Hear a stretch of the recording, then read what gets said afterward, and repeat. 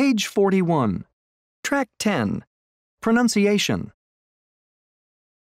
I used to lift weights. I didn't used to exercise.